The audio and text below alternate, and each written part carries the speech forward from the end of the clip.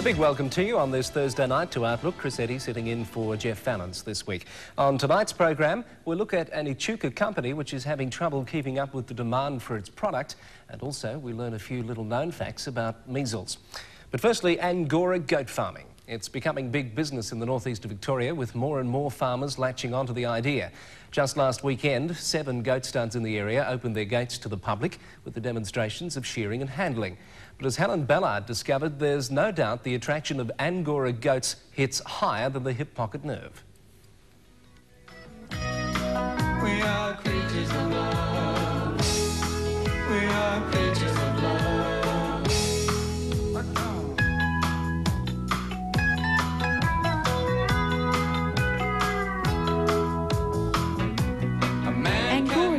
They really are creatures of love.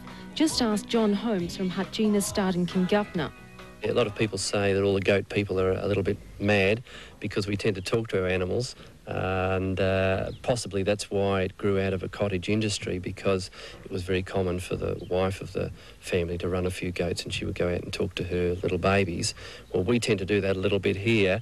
Uh, in fact, um, you know, I've often, people have looked at me rather queerly as I sort of talk to the animals, but it's because they're intelligent, because they do respond, and uh, you get very attached to them. John is one of eight goat farmers in the northeast who years ago would have been the butt of many jokes. Those were the days when goats were considered a leisurely diversion, a far cry from the industry on the threshold of boom today. And a boom industry it could very well be. According to the Bureau of Agricultural Economics, it's the fastest growing agricultural industry, with goat meat being the most popular meat eaten throughout the world. John has 450 goats on his 50 hectare property and hopes to expand the business to about 700 goats. So apart from the financial rewards, what's the attraction? Love of the animals, uh, love of uh, the country life, I think. Um, I do really love goats. I think they're fabulous and they're, they're really intelligent animals to work with and very rewarding. When it comes to shearing, which is done twice a year, the returns are quite high. The going rate for a good kid fleece is $26.50 per kilo, and for an adult fleece, 10 to $12 per kilo. The wool style and character, as they call it in the business, also depends on the amount of unwanted hollow fibres and the prized elasticity or curliness of the wool. During shearing, John uses a clever computer system to record the condition of the animal itself. So when it comes to buying and selling, he has the good and bad breeds of goats at his fingertips. The Angora's fleece is quite different to that of a sheep.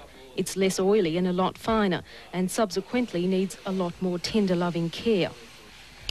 The fleece of a goat, they call it the diamond fibre, uh, possibly because it's used in many aspects of the textile industry. Most uh, suits that are used in um, high fashion garments in Europe have mohair blending. Upholstery uh, that's of high class has mohair blended in it as well. And uh, it's, it's a lovely fleece to handle, a lovely fleece to feel. Of course, like all good products, mohair is relatively expensive. That may be bad news for buyers of winter woolies, but is definitely good news for goat farmers. No, it has pushed the prices of mohair up. Uh, I'm talking mohair now, not of animals, mainly because the as we increase the amount of mohair that's available for sale, more and more overseas buyers are being attracted to Australia to purchase their mohair requirements. Our fleece here in Australia is finer than produced in other parts of the world, and uh, already we're starting to see a lot of interest there.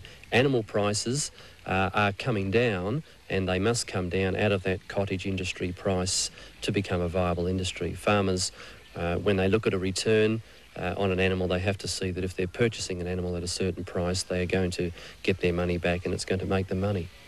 The cost of keeping Angora goats is similar to that of sheep, except that the kid goats need protective shedding and fences need to be very secure. But there are cost savers. For example, less money is spent on preventive medicine like worming, and the goat farmer needn't worry so much about applying chemicals around fence lines and channels. Goats, so they say, rip through weeds faster than wildfire. And when it comes to breeding, the quirky creatures are no less proficient, even if they do occasionally need a helping hand. Yes, there are ways, and we have done it here with the introduction of hormones.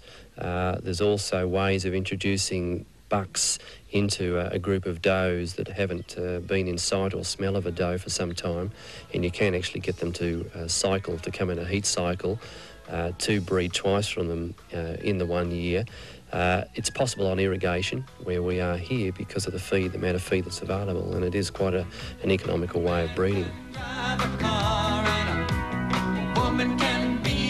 I think we can see the potential of it, and I think any industry which is growing, uh, any industry which uh, really where there's a market for the product, um, it always gives you a, a, a what's the word, a, a, thrill to be involved because you know that there is a demand for the product. And we can see here within the goat industry that uh, there's such a demand for good quality goats, there's such a demand for good quality fleece that we feel that, uh, that there's going to be a very good return had for any that get into the goat industry early. A very funny uh, situation in a supermarket one day. I was with some friends and we had a couple of baby kids that we were actually going to kill to eat because uh, kid meat is beautiful to eat. And uh, my friend said to me, uh, Have you killed those kids yet? And I said, No, I'm going home after I leave here to kill the kids. And the expressions on the people that were listening on wasn't too good.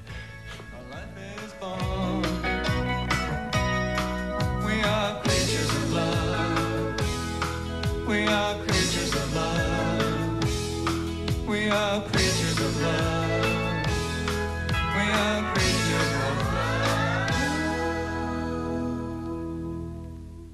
be a bit of a shock, wouldn't it? Helen, Helen Ballard with that report on an industry that it seems we might be hearing a little bit more about in the years to come. We'll return with more on Outlook after this break.